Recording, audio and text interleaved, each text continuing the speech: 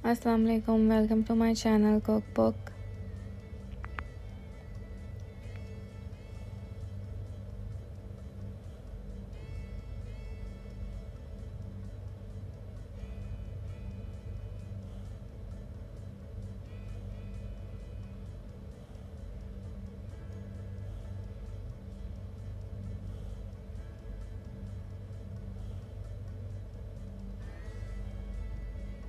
आज की हमारी रेसिपी है red velvet cake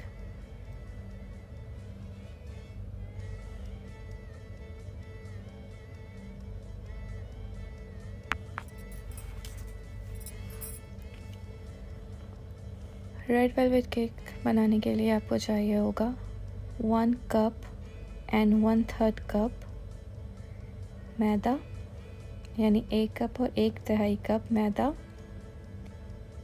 एक पिंच बेकिंग सोडा एक टीस्पून बेकिंग पाउडर एक pinch salt three fourth cup चीनी और one fourth cup cocoa powder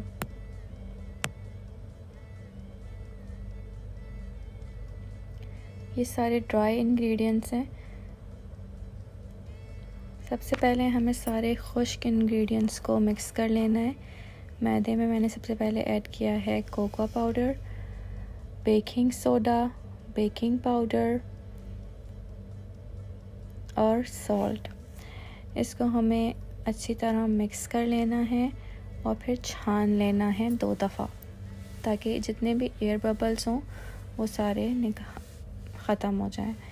wait ingredients में हमारे पास है तीन अंडे रूम टेम्परेचर पे रखे हुए एक कप बटर मिल्क ये भी रूम टेम्परेचर पे, एक टेबल स्पून सिरका थ्री फोर्थ कप ऑयल दो दो एम एल वनीला एसेंस और red food colour liquid food colour जो है वो ज़्यादा बेहतर है जेल के बनस्बत। सबसे पहले हम अंडों को चीनी, तेल और वनीला एसेंस को अच्छी तरह बीट कर लेंगे।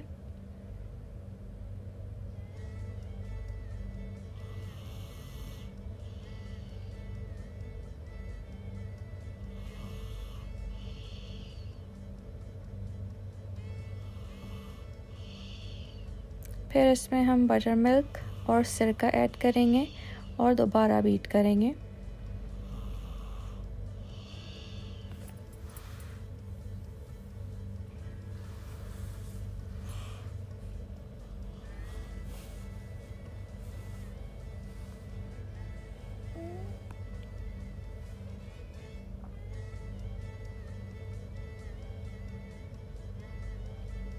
अब दोनों ड्राई इंग्रेडिएंट्स और वेट इंग्रेडिएंट्स को, यानी जो मैदे का मिक्सचर एक जगह रखा था, उसको इस लिक्विड मिक्सचर में हमें मिक्स कर देना है और उसके बाद उसमें रेड कलर ऐड कर देना है।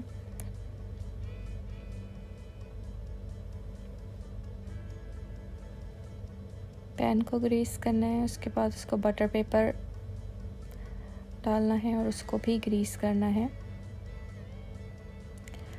मैंने नाइन इंच का पैन लिया है, जिसकी वजह से केक जो है वो थिन बना है। केक बनाने के लिए आठ इंच का पैन जो है वो बिल्कुल सही रहता है और उस पैन में अच्छा केक जो है वो रेस होता है। मैंने नाइन इंच का पैन लिया है, इसीलिए केक थोड़ा थिन हुआ है, क्योंकि इसका बैटर जो है वो नीचे फैल गया है। शुगर सिरप बनाने के लिए मैंने half cup sugar and one cup पानी लिया है और सिंपली उसको बॉईल किया है। केक रेडी हो चुका है। अब दूध पिक डालकर मैं उसको चेक कर रही हूँ। बिल्कुल ठीक है केक। और केक रेडी है। मैंने इस तरह के दो केक बेक किए हैं।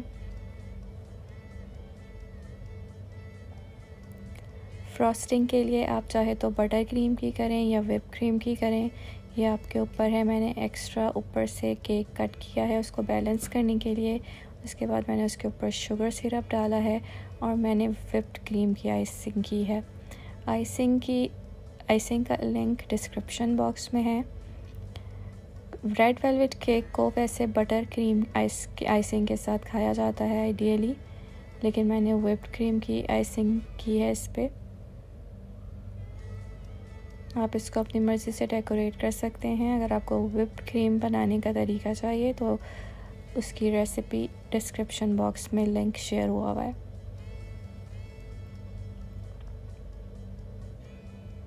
अगर आपको हमारी रेसिपी पसंद आई हो तो ज़रूर लाइक सब्सक्राइब और शेयर करें। Thank you